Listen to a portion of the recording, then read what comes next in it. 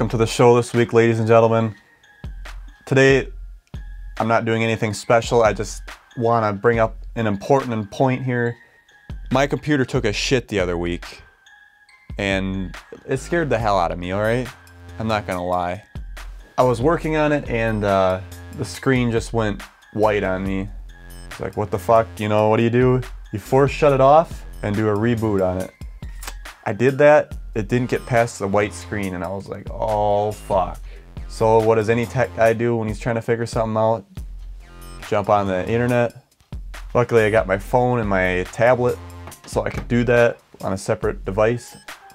Looking through the forms, I found this page from Apple about everything you should try. Let's check it out here. See, Apple here has a bunch of different things you can try when you start your Mac just to like reset it. I got this safe mode. So you, you, boot your computer up, you hear the chime, uh, you're gonna wanna hold your shift key down. Try that, that didn't work. Uh, there's all these other ones too. Startup Manager, uh, I tried booting from my thumb drive with Yosemite on it. I could get to that screen, but the thumb drive wouldn't show up. I did the hardware test, that came up good. So all these options here, I even tried, at one point I did reset the VRAM here, and I got, I managed to get in. Not too much longer later, I was working and then white screen again. I was like, oh, fuck, something, it's gotta be hardware related. But what, I was able to do, I believe it was verbose mode, where you can go, get into the command prompt and I found the correct command where you could bypass your graphics card. Type that in, did that, and then I got in fine, but of course it's slow as fucking hell, but at least you get access to your files and all that. So right off the bat, I'm, I'm like, I'm pretty sure this is a graphics card issue. Did a little searching and it turned out Apple did have a replacement program here for it. AMD Radeon 6970 and it affects the uh, iMac computers that were sold between May 2011 and October 2012. Pretty good year span there. And it was just the, uh, the 27 inch Core i5 3.1 or the 3.4 gigahertz i7, which is what I have, causing the computer's display to appear distorted, white, or blue with vertical lines. I was I had white. So what did I do? I went on ahead and went, I don't have an official Apple store in my neck of the woods. So I took it to the Mac store and they looked at it and they said, sure enough, you know, it's bad. So the good part is I had it, the graphics card replaced for free.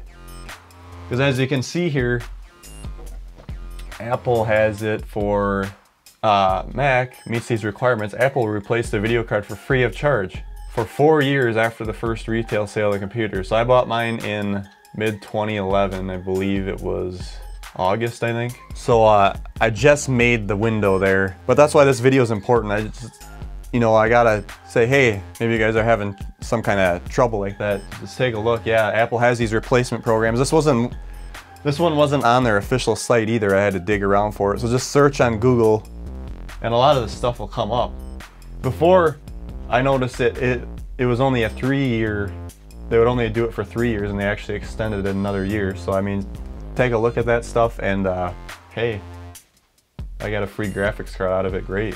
If you're having trouble, pretty good chance that it could be recalled or in this case it was a replacement program so obviously they wanted it to fail first before they replaced anything. That's one thing I'll give props to Apple about. They'll uh, they'll have that. Also, since we're uh, on the subject here, if you come up to your Apple, go about this Mac, and they got service here.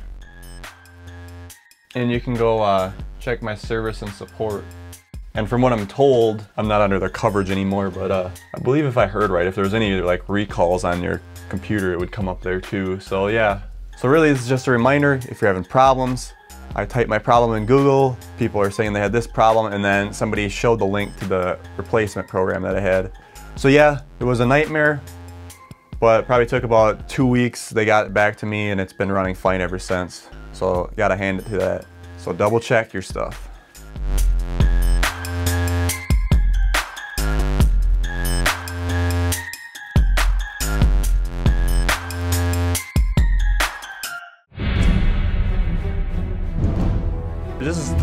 Bullshit.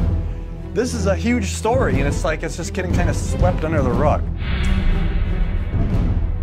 The year 3000 AD on, apparently there's no life on the planet. Prime Minister coming out, aliens are real. Yeah, they're real. But No big deal, but hey. So yeah, so he disappears at 29, and all of a sudden, boom, he shows up here.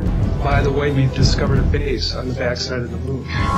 They found these? Like Yeah. under the. So it stopped at 2, 1006, and it says Swiss was engraved on the back.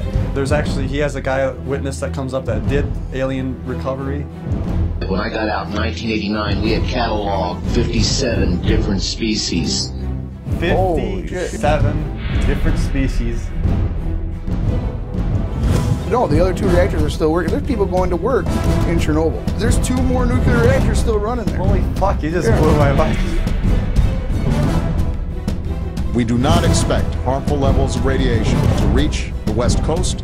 Oh, oh my god. And when you burn thorium in a molten salt reactor, you get 99.999% burnup. Holy fuck. Men in black cars and men in black, not Will Smith. Official policy regarding UFOs is that they do not exist. uh, unless uh, uh, the Defense Department proves us otherwise, that it was probably uh, some form of an alien spacecraft.